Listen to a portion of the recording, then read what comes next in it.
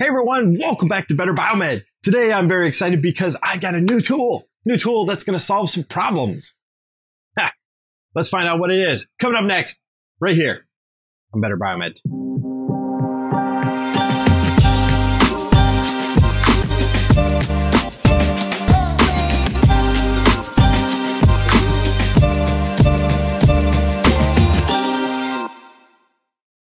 All right, guys, here we are. This is my brand new tool, the latest and greatest. Yes. Guys, this is the Milwaukee M18 cordless inflator. And I didn't honestly know this product existed until I went ahead and seen a Project Farm video. If you guys don't know Project Farm is, they're a video that uh, it's a channel that goes through and it tests all different products to make sure that you get the best bang for your buck.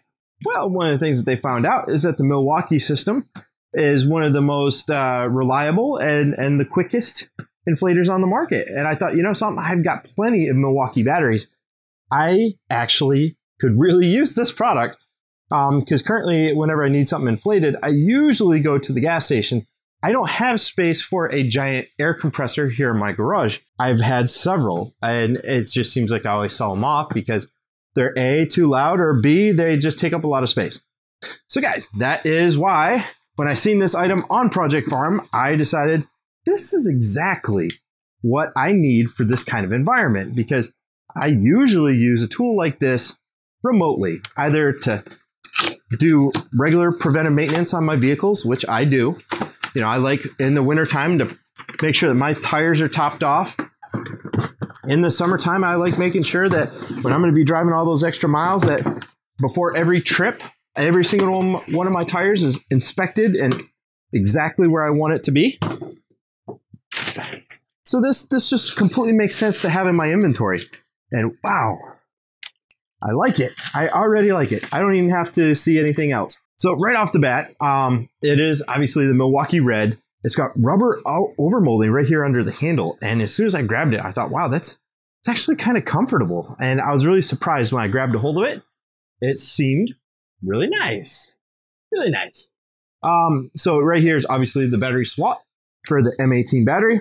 You can fit a rather large battery in here. I'm only using a uh, 5.0 amp hour battery. It's fully charged. Thank goodness. In the top, uh, we have a digital display where you can set your uh, desired pressure and you can make it do some other funky things. You can even change your units of pressure.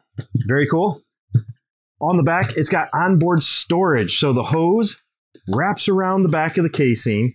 And in here, you've got uh, an adapter, you've got a uh, nozzle inflator, and you've got a needle inflator. Very cool. And let's take a look right here. Let's see. Oh, yeah. So the nozzle inflator, this is for uh, some of the more expensive bicycles. Um, screws in and you're in business. So we have a uh, brass component. So it's brass to brass fitting. That's very nice. Um, the hose is what? Uh, about three, three and a half feet long. More than enough for what I'm going to do. That's for sure. Um, because since it's battery powered, I can place this right next to my vehicle when I do my um, pressure checks on my tires. That's very cool. I love that it's got this onboard storage because these components always booger off.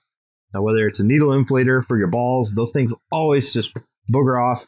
Um, I do have a couple different types of bicycles, so I like that I can just swap the adapter and I'm up and running or not. It's got uh, rubber standoff feet, and these are really interesting feet because they're not they're not standard like you would expect. What these are are they are designed to absorb the vibration and uh, prevent this device from walking off on you. Some of the other air compressors on the market, when they're vibrating, you'll see them migrate around, you know? And that's because the vibrations create a disconnect between the ground. So what they did is they put a really soft durometer rubber on the bottom of this guy and they added extra long fingerlings on the bottom so that it can just vibrate back and forth instead of moving on you. We're going to try that out. So let's go ahead and let's boot it up with my M18 battery. Wow, you can definitely put a larger battery in there. They do have extension hoses so that you can make this even longer. Let's go boot it up. All right, so let's see. We got oh, we got memory, so I can set the memory.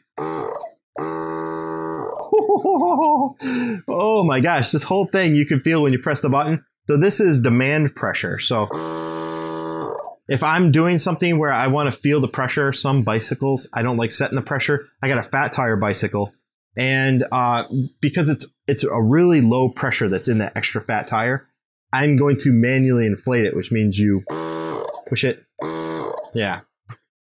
I can tell by the RPM of the motor that this guy is indeed a very fast, fast inflator. Oh, yeah. Okay. Well, I'll tell you what, that's going to work out to be an absolute treat.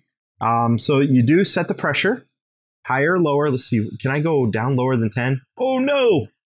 Okay. Well, for my next demonstration, I was going to do it on a bicycle tire, but it seems like it starts at 10 psi. And unfortunately, I think that's going to um, explode a lot of bike tires. So let me go ahead and check it out on a bike, and then we'll see. Uh, more than likely, because you're only going to be using a little bit of pressure, because this is an extremely efficient compressor. Uh, so you're you're going to be uh, just hitting it and setting it manually. So if you set it on zero psi, it's a momentary switch, and if you set it the pressure and then you hit go. it's going to keep running until it meets that pressure and then it's going to automatically shut off. Very handy for cars, let me tell you. And I guess let's go ahead and see it in action. I've got a couple bikes that I'm going to try and inflate it. Seems to be very efficient because the amount of air it's kicking out versus, you know, the, the drain on the motor. This is only a 5 amp hour battery, but that doesn't uh, mean that, you know, it's still not a lot of current draw. It's, it's probably a hefty load. Let's go ahead and test it out on a bike and let's see how fast I can inflate some tires on a bike. Okay, guys, I have it currently set at 0 psi. I'm to go ahead and screw on the brass fitting to my valve. I like the knurl. It's it's super easy to hook up. and it says I am currently at 6 to 6.5 psi. Really? I think I'm that high. Tell you what. Let's see what happens when we set it at 10 psi, right? and go.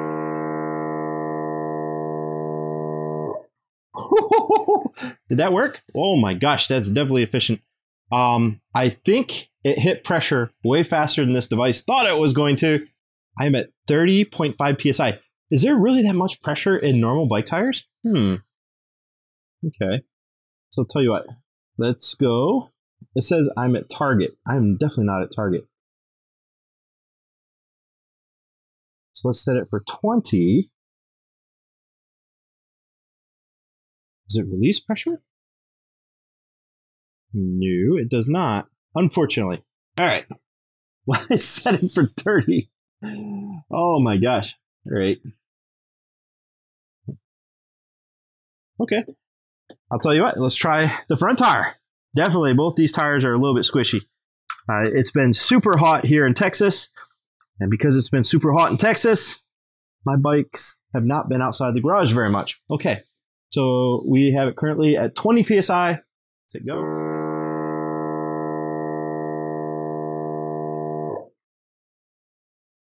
Okay, that time it worked an absolute treat. Well, it did overshoot. I think it's because the amount of pressure versus it has to run a certain number of seconds and then it stops and it, it samples it. And I think what it's doing is it's such an efficient compressor. It's overfilling the tire before it gets to the certain number of seconds and it samples. And that's why it's shooting overpressure. Like this front tire, I'm currently set at 35 psi, I think. So the good thing is, all I gotta do is loosen up the valve just a little bit. Yeah, that's more like it. About 25 psi. Perfect. Back.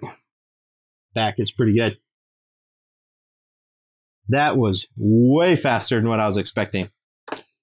So guys, that's the beauty of this device is that it's super portable and any type of device that solves a problem is a device that I get behind and I support because I want to be able to sample my tires on my cars way more often. I check my tire pressure pretty consistently, but I normally go to gas stations, and that's inconvenient. I like the fact that before I go on road trips and stuff, while my family's packing and taking their sweet time to get on the road, I can be outside doing some minimal preventive maintenance on the vehicle to make sure that everything's topped off and good to go. And the same thing for business trips. Like if I know that tomorrow I've got a flight, which I do, uh, I'm flying out to Colorado for the CabMet. If I got a flight tomorrow, then I would like to be able to check my tire pressure before I go because I don't like being late to my flights. So, guys, that's the Milwaukee Portable M18 battery powered tire inflator. It works an absolute treat. It's way faster than what I was expecting. Um, so, normally from now on, when I'm going to inflate bike tires, I'm going to set it on zero psi and manually, manually press the inflation button. So, it's just it's way too fast for these little tiny bike tires. And uh, that's a good thing because that means it's going to be faster for your car tires. Anyway, guys, I'll leave a link in the video description to the M18 better powered tire inflator because it's the cheapest price that I can find is on Amazon and you can check it out there. Thanks for watching, guys.